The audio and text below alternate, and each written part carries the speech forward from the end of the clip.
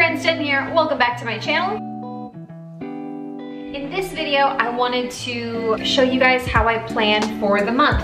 I find yearly, monthly, daily planning to be very beneficial and therapeutic and it really helps me pay attention to my time so that I don't waste any of it. What I love about bullet journaling is you can customize it to your specific needs. Without further ado, let's get into the video and I will show you how I plan my months, weeks, and days. Alright guys, hang with me because this is gonna go fast. I like to start my month out with a monthly front page where I choose two fonts and one to three colors to kind of set the tone for what the style will be like throughout the month so that each month is kind of cohesive. And then I do the index. Now the index is so important to me because throughout the month, as I make any specific spreads, I come and I write them down here. And because I bullet journal year in and year out, it makes it really easy for me to just pick a book off the shelf and source any information I'm looking for. Now I am starting my monthly overview, and this is my most like referenced spread, I would say, throughout the month.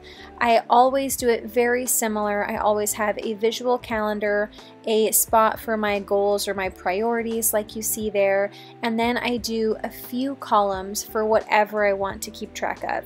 Now my first column, which I do do every single month, is the schedule column.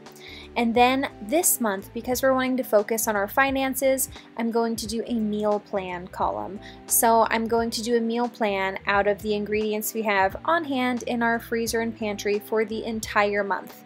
Now we won't necessarily stick to this meal plan rigidly, however, on a busy day when we feel a little crazy, we're not going to just throw our hands up in the air and get expensive takeout for six people. We're going to go back to the meal plan and see if there's something we can quickly pull out of the fridge or freezer.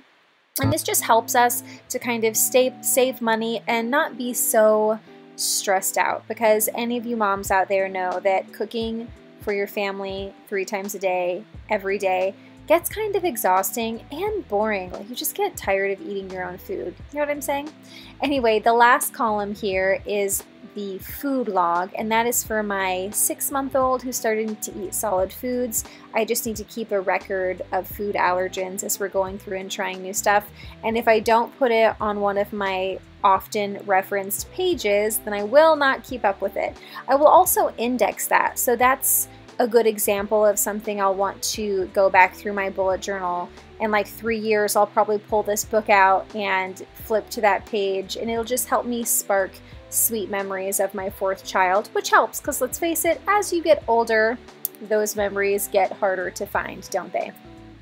So now I am working on my um, monthly tracker page. Now I do create this sheet every month. I don't always fill it in every month, but I find it super helpful because at the end of the month, when I go back and I look over my pages, if I've had like a bad month or I've had any kind of emotional difficulty or frustration, I can usually go back and say, oh, well, look, you didn't do your Devo time every day, or well, look, you didn't exercise this month, and last month you exercised, you exercised and felt better, you know, so it just helps me keep like a self check so I can take good care of myself without a lot of extra time and attention, really. So now I'm working on my weekly outlook. I do do this every week. Uh, this week, I probably won't spend a lot of time here because I just really don't like the way that this turned out. So next week, I will do it different. When my spreads turn out good, I have less need for the daily pages. When these spreads don't turn out good, then I use my daily pages more, which I will this week.